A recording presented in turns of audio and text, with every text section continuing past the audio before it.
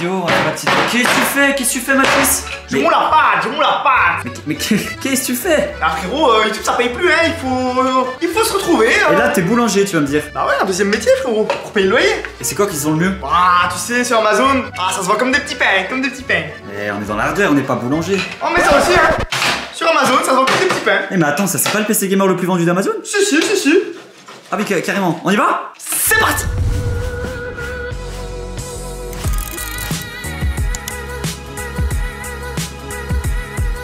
On remercie Frag Pro Shooter qui nous aide tout simplement et qui sponsorise cette vidéo. Un tout grand merci à eux. Alors Mathis, toi t'es un grand joueur de Frag Pro Shooter, il faut le dire. Euh, euh, je dirais pas non plus, mais c'est vrai que quand ils nous ont proposé de présenter le jeu, eh bien il était déjà installé dans mon téléphone, enfin j'ai pu le retélécharger directement, et c'est vrai que j'y avais déjà joué. Alors Frag Pro Shooter c'est un shooter, donc c'est un jeu où il faut faire des tirs, c'est un jeu en équipe avec un système de deck et par carte, c'est 100% gratuit, c'est un jeu mobile, donc disponible sur iOS et sur Android. Il y a plus de 70 millions de joueurs au total dans le jeu, et presque 1 million qui se connectent par jour, donc autant vous dire que ça fait quand même beaucoup de monde, le vérifier rien qu'ici sur le Play Store, il y a 1 million d'avis sur ce jeu-là, et c'est développé par le studio Obibi, et on a regardé, c'est français en plus de ça, donc ils ont leur bureau à Paris, etc. Ils ont fait d'autres jeux. Le but du jeu, ça va être de détruire les tours adverses. Alors il y a plus de 90 personnages, donc c'est vrai qu'on a vraiment l'embarras du choix. Et en pleine partie, on a un deck et donc on peut switcher entre nos différents personnages. C'est ça. Et c'est pas mal du tout. En plus de ça, Frag Pro Shooter met fréquemment de nouveaux joueurs. Donc le dernier personnage, vous le voyez, donc c'est Darius qui est un joueur de foot et qui lance des ballons. Donc pourquoi pas, j'ai envie de dire. Donc il y a les battles de base et les arènes. Il y a aussi des modes de jeu et c'est vrai que c'est sympa. On s'arrête pas à un simple battle. On a donc le 2v2 pour jouer avec un ami par exemple. Là, vous pouvez jouer avec trois personnages chacun. On a aussi le payload et enfin le street frag. Donc on a vraiment l'embarras du choix. C'est ça.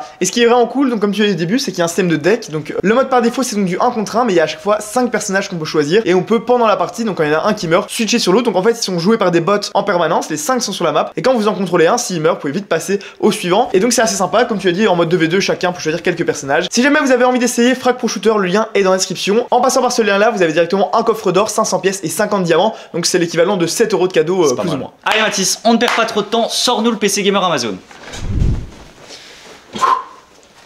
Nous sommes de retour. Oula, calme-toi un peu. hein. Le retour du PC Amazon. Encore frère, on fait que ça sur la chaîne. On fait que des PC. Après le plus cher, le moins cher, le... tous les PC, ben encore un. le plus vendu maintenant. On va tester le PC Gamer le plus vendu d'Amazon. Je vou- Je voulais également faire le mieux noté Il d'Amazon. y a le moins bien noté aussi.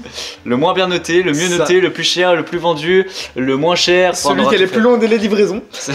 Non, plus sérieusement, aujourd'hui on se retrouve Mathis pour le PC Gamer le plus vendu d'Amazon. Et Alors, ouais. en vérité, pour dire la vérité absolue, le plus vendu d'Amazon c'est bien entendu un Megaport. Un Qu'on a Megaport déjà qu'on a déjà testé 4 fois, que la moitié des youtubeurs en France ont déjà testé C'est ça. hardware. Donc on s'est dit on va prendre le deuxième PC Gamer le plus vendu d'Amazon. C'est ça. Et il a l'air super intéressant parce que c'est un PC gamer sans carte graphique. Donc on va voir un petit peu ce que ça donne. On va voir si on arrive quand même à jouer. Normalement, c'est vrai que ça fait longtemps qu'on n'a pas testé des APU, mais ils se sont pas mal améliorés. Donc il y a peut-être moyen qu'on arrive à faire quelque C'est chose ça, quand même. hein. restez bien jusqu'à la fin de la vidéo. J'ai regardé un peu des tests, etc. Et avec ce processeur, si on arrive à premièrement optimiser le PC et à overclocker le processeur, C'est ça. il y a moyen de faire tourner des jeux. C'est ça, et c'est pas le mal de jeux. Donc on va commencer par déballer le PC, faire un petit tour des composants, voir un petit peu, euh, voilà, essayer de trouver les petits problèmes, les petites couilles comme on dit chez nous, et puis euh, et puis après on fera les tests, etc. en jeu, et on essaiera de- d'en tirer un maximum de performance. On fera des petits tests, hein, Fortnite, GTA 3 C'est ça. Alors il y a déjà une boîte Amazon qu'on a ouverte, ensuite il y a cette boîte-ci, et enfin la boîte du PC. Donc là, niveau protection, il y a rien à dire, c'est euh, c'est pas mal. C'est ça.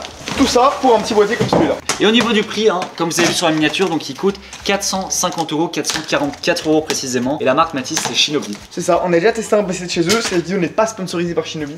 c'est sûr. Euh, on verra si le PC est bien ou pas, on vous donnera notre avis complètement euh, objectif. D'accord. Mais non, on avait déjà testé un PC de leur marque, mais avec une carte graphique, donc là, euh, à voir. J'ai remarqué, c'est toujours toi qui déballe les PC. Ouais Ouais, c'est un peu mon corps de métier quoi. Oula, ouh, je me suis pris une petite décharge. Ah ouais? Alors, comme d'habitude, on a les petits manuels au-dessus.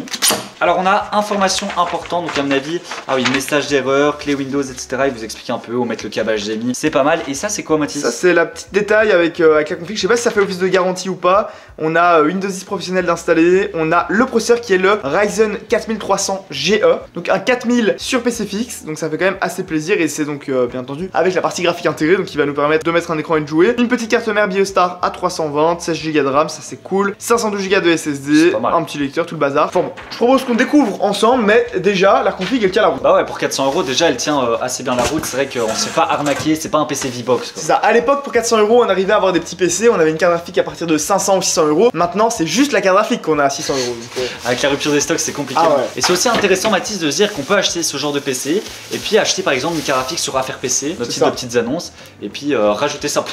Oh c'est putain. qui décharge là. Oh, putain. Et simplement venir bah, plug la carte graphique et euh, pourquoi pas jouer quoi. Donc on pourrait faire ça dans un second épisode, pourquoi pas. C'est ça, si vous voulez qu'on l'améliore, qu'on essaie d'ajouter des composants, peut-être avec euh, Affaire PC, n'hésitez pas à nous le dire et on, et on le fera avec plaisir. Franchement, le boîtier, bon, bah, c'est quelle marque déjà? Bon, c'est déjà pas une vitre euh, pleine taille, après pour ce prix là c'est compliqué. Ouais, c'est un petit Euh, boîtier, c'est vraiment Ça un fait un peu boîtier. vintage. Alors l'avant ça donne quoi Mathis? Bon, c'est un. À l'avant, c'est une sorte Oh, de mèche. Il y a un ventilateur là qui a l'air d'être RGB. Bah, à mon avis, on peut en mettre un deuxième au-dessus. On a deux USB là. Après, l'aspect brillant est pas hyper quali. Il y a un lecteur CD. Quand tu disais que c'était un peu vintage, euh, c'est un peu vintage. hein. Le retour du lecteur euh. CD DVD ça fait plaisir. Le bouton power, le bouton reset, ça va encore j'ai envie de te dire. Est-ce qu'on commencerait pas par l'avant? C'est ça. On va le mettre ici et on va commencer à le déballer. Bon les gars, à 20 000 likes, on achète le PC gamer le moins vendu d'Amazon. Ça te va Mathis? Moi je suis Euh, chaud. On ah, prend vraiment un vendeur tiers, tu vois, un Ah, vendeur putain, pas connu. Il quoi. va jamais arriver. Il va jamais arriver. Vas-y, moi je suis chaud en vrai. Vas-y, on fait ça. 20 000 likes, les gars, on compte sur vous. Alors, Maxis, on a ouvert le PC directement et ça va en vrai. hein. Ouais, ça va, c'est pas. Elle est haut, putain. Là-haut. Oh purée. Je Ah. regarde en bas par habitude. Euh, ah ouais, l'alimentation est en haut. Ça fait qu'on a un boîtier un petit peu moins stable et puis bah, c'est pas hyper joli. Rien qu'en termes d'esthétique. En plus de ça, les câbles. Aïe, aïe, aïe, aïe, le retour des câbles euh, belges. Là, c'est même pas belge, mais c'est vraiment la Gay Pride dans le PC. Euh, Il y a toutes les couleurs. Attends, on a une clé USB à l'arrière. Elle fait quoi, elle? C'est quoi ça, Clé Wi-Fi?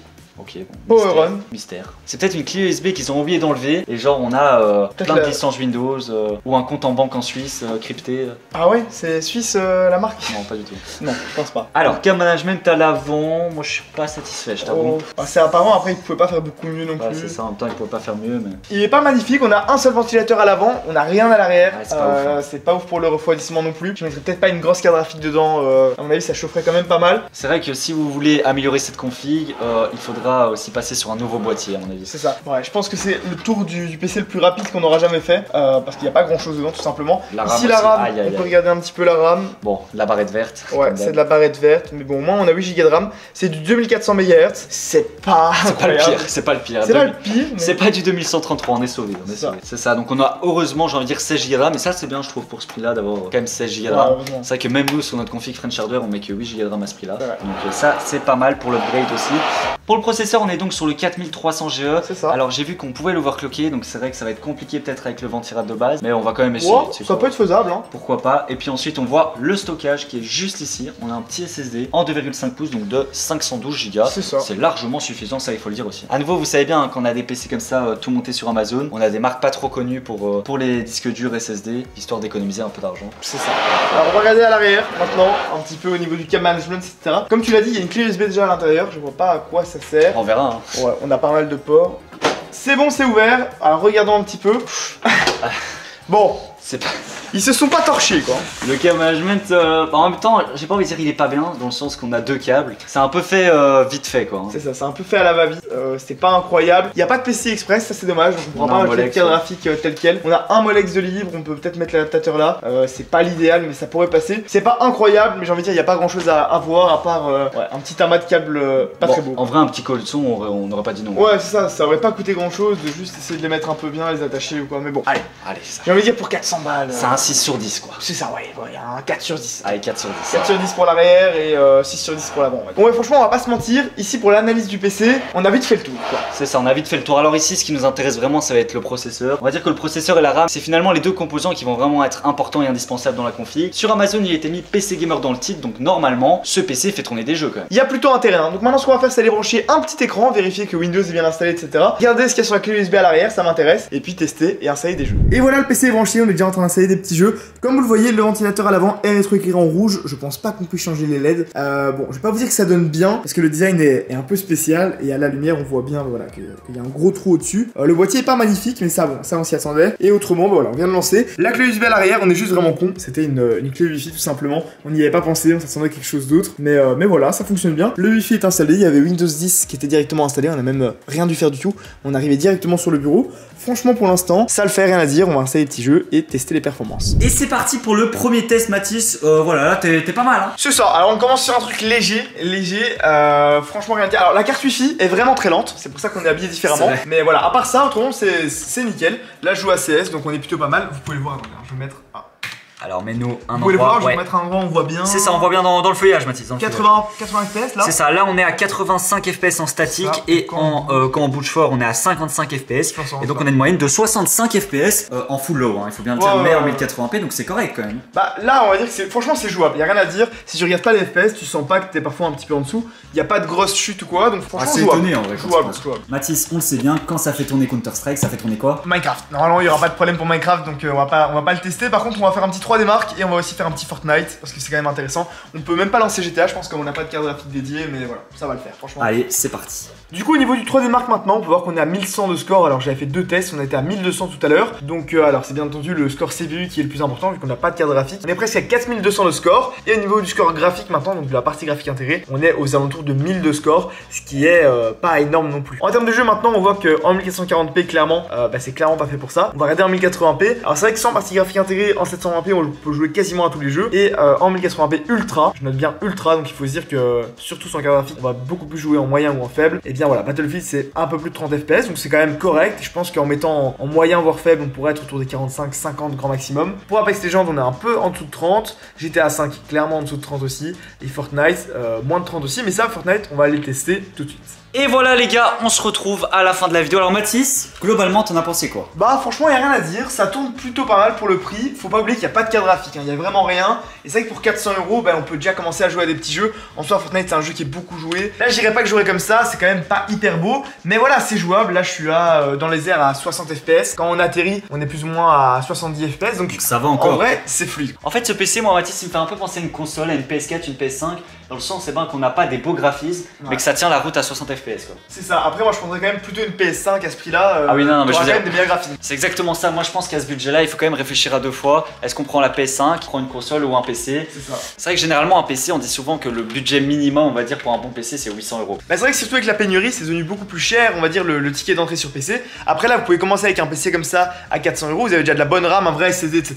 Et rajouter une petite carte graphique que vous achèteriez par exemple d'occasion sur Affaire PC. C'est clairement une bonne base pour démarrer. Donc en vrai, je pense que tout n'est pas euh, à jeter. Et franchement, il n'y a pas une grosse différence entre le monter soi-même ou l'acheter là pour le coup sur Amazon. Donc euh, on va dire que franchement, pour un PC à ce prix-là, c'est pas une arnaque de l'acheter sur Amazon. En, l'achetant vous-même, vous auriez euh, quasiment la même chose. On a fait le calcul et puis il y a déjà Windows installé, etc. C'est ça, tu rajoutes même une ancienne carte graphique style euh, GTX 970 à 150 euros et t'as un vrai PC gamer. C'est ça. Non, franchement, il n'y a rien à dire. C'est validé. En, fran- en- en- pour une fois, j'ai envie de dire, C'est validé. Donc ça fait plutôt plaisir. Et d'ailleurs, à 20 000 likes, comme on a dit, on fait le PC gamer le moins bien noté Et là, on va s'amuser parce que celui-là, franchement, pour le prix, il y a rien à dire. Il était vraiment euh, pas si mauvais que ça. D'ailleurs, on vous met dans la description d'autres PC qui sont pas trop mauvais, que ce soit des PC tout montés. Ou également chez Cybernet, par exemple, le PC Nemesis. Notre Qu'on vous avait conseillé en vidéo avec le petit code FH3. Tout ça sera dans la description. N'hésitez pas non plus à aller faire un petit tour sur Affaire PC parce que pour 400 euros, on peut peut-être trouver des petites dingueries. Et on a réactivé les notifications sur Affaire PC. Par donc dès mail, que vous avez un message, etc. sur Affaire PC, vous avez des notifications par mail. Donc, Enfin. enfin, on, on essaie d'améliorer.